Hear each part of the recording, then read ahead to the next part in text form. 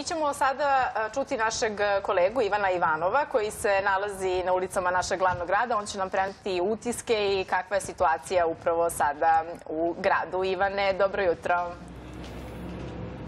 Dobro jutro Antonella, dobro jutro Igore, dobro jutro svim našim gledateljima, gledalcima i pre svega gledateljkama, dakle kao što ste već pomenuli, pretpostavljam, jer vas nisam pratio baš od ranog jutra.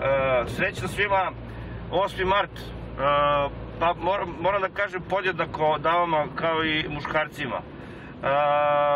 Dakle, znamo danas dan žena, obeležit će to što ćemo deliti cveće, komplimente, bombonjere, slatkiše i ostalo, ali smo nekako uvek zaboravimo na ono što je glavno u vezi sa tim, a to jeste ravnopravnost e, žena sa, sa muškarcima još od te 1909. godine i socijalističkog pokreta, verovali ili ne, u Americi i tragičnih događaja u onoj fabrici tekstila gde je poginulo 100 žena, skrivajući ih u toj fabrici. Dakle, ono što je bitno za celu tu priču jeste da ne govorimo samo o lepoti žena. Dakle, danas nije dan kada obeležavamo i slavimo lepotu, ženstvenost i ostale ženske atribute, već upravo njihovu borbenost i rešenost da ekonomski, socijalno i politički budu jednaki sa nama i treba da ih podržimo u tome. Dakle, od jutros već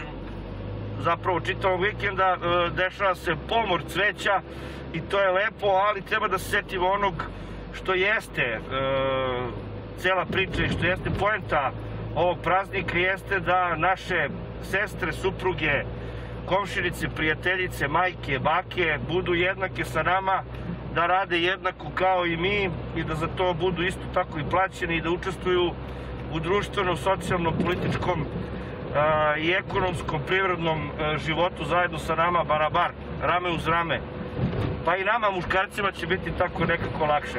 E sad, ne treba uvek ni podilaziti, e, jer upravo treba da budemo jednaki. E, zato preporuka i za drugu stranu, pored toga što treba da budemo jednaki, nemojte da se ljutite, ali kad odemo u kafanu, nekad i vi treba da platite račun i to je jednakost.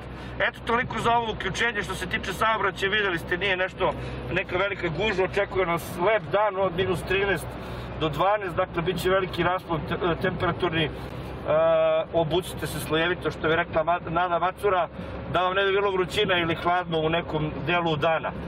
Očekuju nas lep, vedar dan. Eto, toliko za ovaj 8. marta. Mi se čujemo, vidimo nešto kasnije. Antonella.